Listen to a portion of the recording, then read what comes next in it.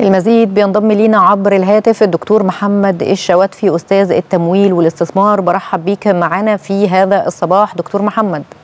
صباح الخير يا فندم. تحياتي لحضرتك والساده المشاهدين. تحياتي يا دكتور. يعني بنتحدث عن إطلاق أول صندوق للاستثمار في الذهب. يعني لكثير من المواطنين اللي بيبحثوا عن ملاذ آمن للحفاظ على يعني قيمة أموالهم في فرص استثمارية غير تقليدية الحقيقة. يعني لو تكلمنا عن ده بشكل مفصل. هو الحقيقة طبعا الأزمة العالميه اللي عدت دي ونتيجة ارتفاع نسبة التضخم بشكل كبير وبالتالي انهيار قيمة العملة بنك العملة الورقية كان لابد من البحث عن مصادر جديدة لجذب المدخرات وتنمية الاستثمارات. الدول النامية أو الدول في معظمها بتعتمد على المدخرات اللي هي بيقدمها الناس في البنوك علشان تقدر توجه هذه المدخرات إلى الاستثمار وهي تصنع التنمية والتقدم. لكن نتيجة الظروف دي الناس بدأت على تبحث عن أشياء أخرى زي الذهب والدولار وغيره وبالتالي كان هنا حصل عليهم مضاربه عاليه جدا وظهر في أسواق معظم اقتصادات الدول الناشئه على أساس إن هو المواطن بيسعى أن يحافظ على قيمته ويعظم من قيمته وتصبح قيمة مدخراته مساوية حسب الزمن وتتوافر مع الزمن اللي هو بيمر عليه وتقلل من المخاطر المختلفة. لذلك اتجهت الدولة إلى صندوق الاستثمار أو صناديق الاستثمار في المعادن.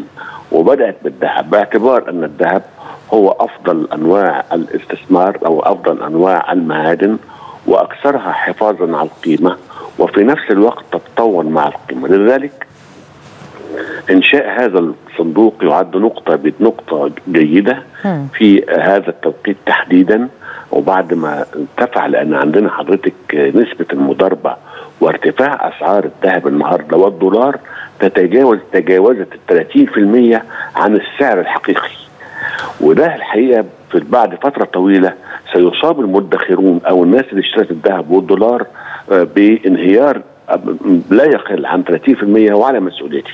الأمر هنا الدولة ما تنشئ هذا الصندوق بيبقى اولا بتقلل المخاطر بتحافظ على القيم أثر الزمن على النقود بتحافظ على قيمة النقود. في نفس الوقت كمان تستطيع الدولة أن توجه هذه الاستثمارات أو تضخ هذه الاستثمار هذه الأموال في مسارات استثمارية.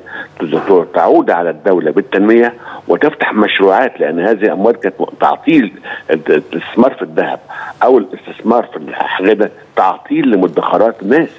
وبالتالي هنا يعاد هذا الأمر على المستوى القومي باعتبار يحقق معدلات نمو ويحقق معدلات تنمية ويساعد الدولة في توفير وفتح مسارات استثمارية من الصناعة وغيره وفي نفس الوقت يحافظ على قيمة مدخرات الأفراد ويقلل من المخاطر. الأمر الثاني هذا الصندوق كمان بيبقى عبارة عن أسهم كل واحد بيروح يشتري مسجل هذه الأسهم وبالتالي هنا يمكن في أي وقت تعود هذه الأموال له في أي وقت عايز يسحب الأموال بيسحبها في أي وقت عايز يبيع الأموال بيعيدها. دي كلها من من من عناصر الإصلاح الاقتصادي وإعادة توجيه المدخرات القومية حتى يمكن أن تستفيد بها وبالتالي الاستثمار في الذهب أو صناديق الاستثمار في الذهب تعد خطوة جيدة. وأعتقد أن هناك صناديق يبقى في صندوق الاستثمار في النحاس صندوق الاستثمار في الفضة.